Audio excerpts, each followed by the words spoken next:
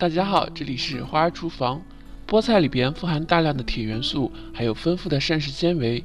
常吃菠菜不仅能够缓解缺铁性贫血，而且能够很好的刺激肠道蠕动，促进排便，预防便秘。小孩子常吃对身体非常好。咱们今天就用菠菜搭配一把玉米面来给家人做一份非常好吃的美食。先把菠菜一根一根的掰开。掰开以后，再用流水完完全全冲洗干净。冲洗干净以后，放在一边备用。大碗中加入三百克的玉米面，玉米面属于粗粮，常吃对身体也是非常好的。用开水把玉米面烫一下，这样玉米面更加的细腻，吃起来口感更好。给玉米面里边加入三十克的淀粉。先用筷子搅拌均匀，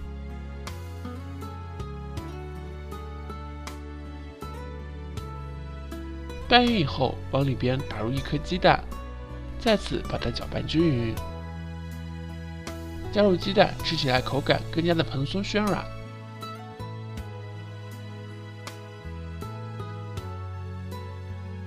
锅里边水烧开的时候，把菠菜下进去。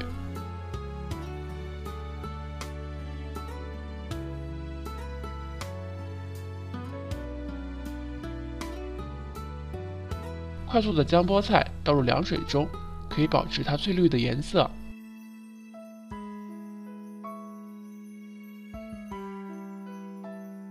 菠菜变凉以后，挤干里面的水分。挤干多余的水，吃的时候不影响口感。放在案板上，把菠菜切成小段。切好以后。直接放进玉米面里边。咱们再来切一根胡萝卜，先把胡萝卜切成薄片，然后切成细丝。胡萝卜里边富含大量的胡萝卜素，常吃对眼睛非常好。切丝以后切成小段，一起加进碗中。加入一小把虾皮，不仅可以提鲜，而且还能补钙。放上一点点盐，适量蚝油。再淋上一点点食用油，用筷子搅拌均匀。拌匀以后，放在一边备用。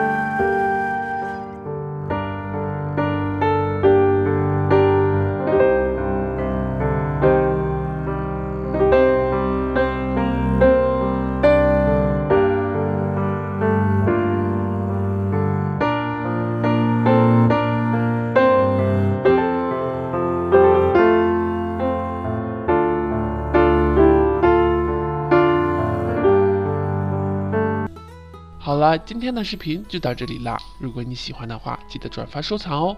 这里是花儿厨房，我们下期视频再见。